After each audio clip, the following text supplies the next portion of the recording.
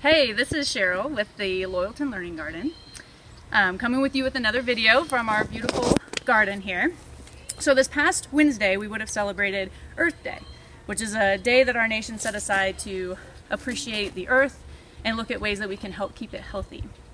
Um, something that I do here in the garden with students is, is try to impress upon them the idea of resourcefulness, how we can kind of limit our waste. So here I have is a tomato cage and it's something that's useful. It's a useful tool in the garden for things like tomatoes. It keeps their branches and their fruits from laying on the ground.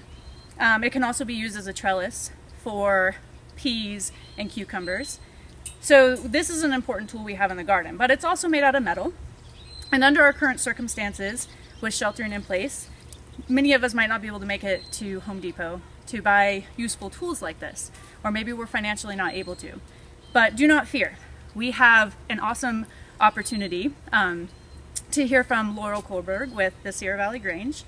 She is going to teach us how to create a obelisk or a tower, or you could also consider it a tomato cage. It uses the same purpose. Something for plants to either be supported, their branches, or plants to be able to grow up and around. And it's created from willows, which are something that naturally grow in our streams and creeks right here in the valley.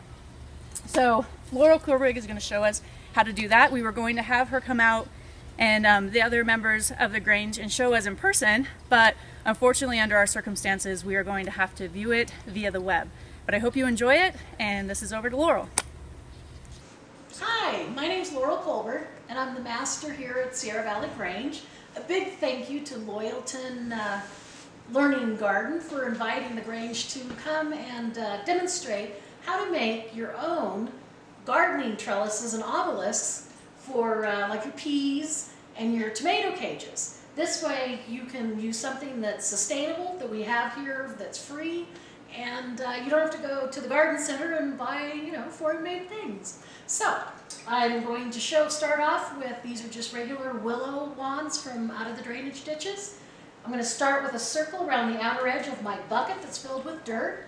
The dirt's just in there to hold my uh, willow branches where I need them. So,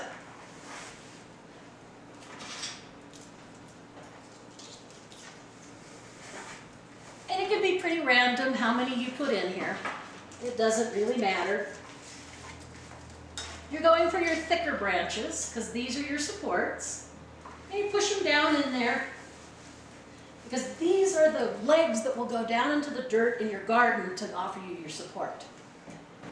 Then you're going to weave your beginning of your basket with your thinner, whippier ones. I do a double weave, which means you're going to start one branch, and then you're going to start another branch on the opposite side, feed them down through your things. This is the hardest part of the whole thing is getting this part started. There, you can see I've made an X here at the back. That's the hardest part. Get that started and you're good to go. Then there's a twist, front and back. A twist, front and back. You're going to twist and front and back. Twist, front and back. This is the whole pattern that goes on the whole time. And then the only other thing you have to learn is adding your sticks. So twist, front and back.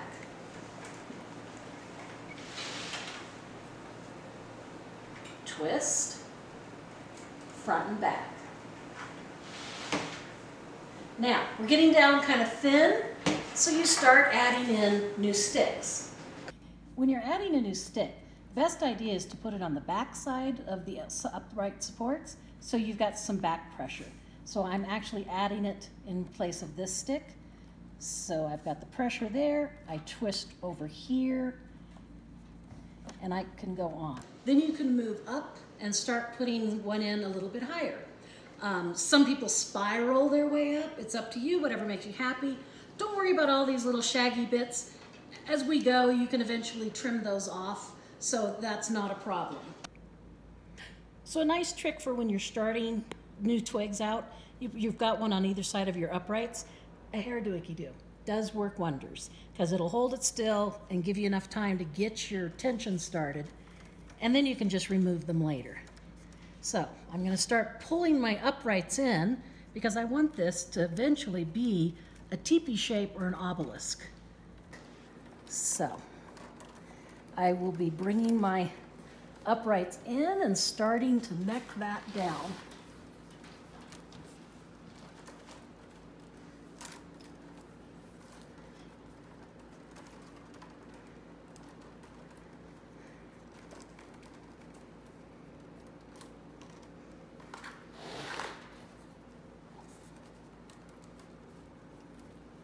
And again, it's the same basket weaving principle. You're just twisting and then one goes behind the other.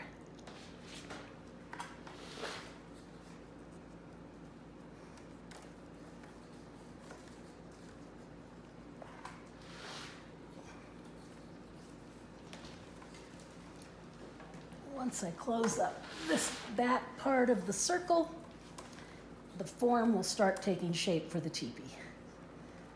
Okay, so now we're almost to the end here. So I've got a nice good sturdy collar going about uh, two feet up. I'm gonna add another piece in just to remind you how we're doing that. Put your new piece to the back, make your twist. I'm in my own way. Okay.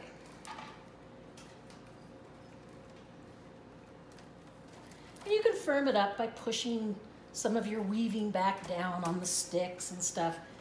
You'll trim it up. So we're just gonna take this one last twig and weave him in and out a bit, get rid of it.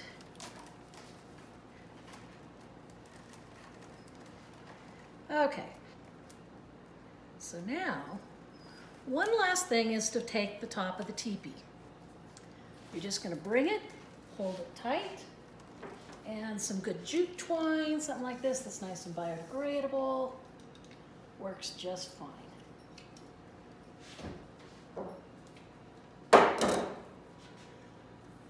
Find the top of most of your things. Wrap it around a couple times. Get a good sturdy wrap going so the birds don't pull it off on you. Tie a square knot.